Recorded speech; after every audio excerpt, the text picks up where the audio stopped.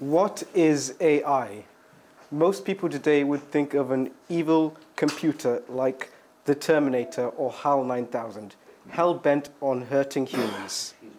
In reality, artificial intelligence is a subfield of computer science in which the goal is to improve computers to the point where they could carry out tasks that would usually require human cognition.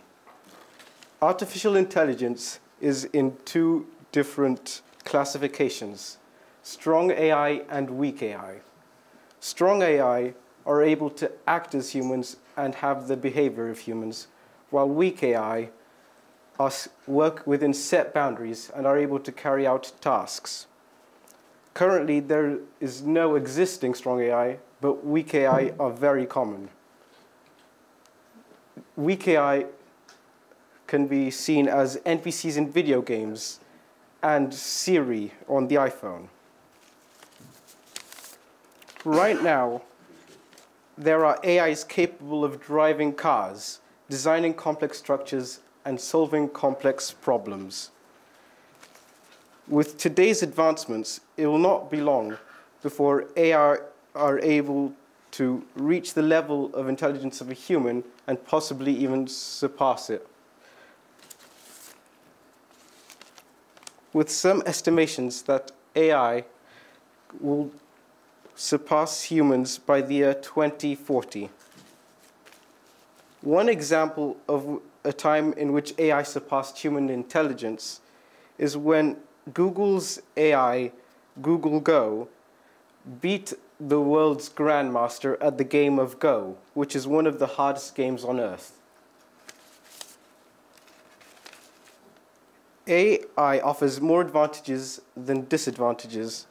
For example, in the white-collar job sector, AI would be able to improve the efficiency of white-collar jobs. White-collar jobs are the type of jobs that require, may require a person to do clerical work involving entry and analysis of large volumes of data. These types of jobs can be most efficiently carried out by an AI since it has an analytical aspect. For example, it is easy for weak AI to carry out analytical tasks, and this would be great. This would greatly benefit the workplace. AI can learn over a shorter amount of time and improve faster than a human can in a set task.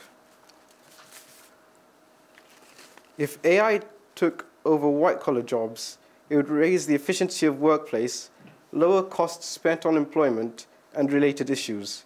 This has already taken place in Japan.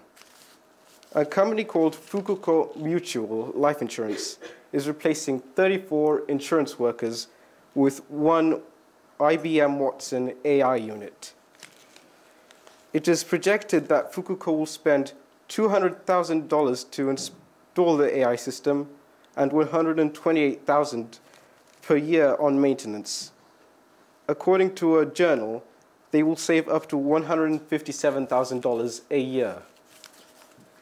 If nine, just nine of the major New Zealand insurance companies did the same thing, they would, could save up to $14 million each year. The benefits here for the economy are great. Another benefit is faster service.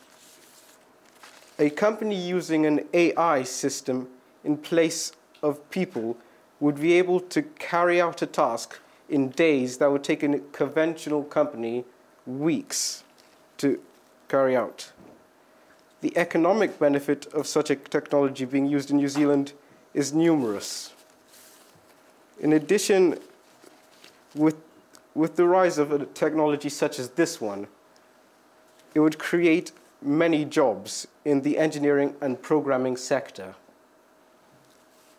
In conclusion, artificial intelligence offers superior advantages and is the logical choice in the white collar sector. Thank you.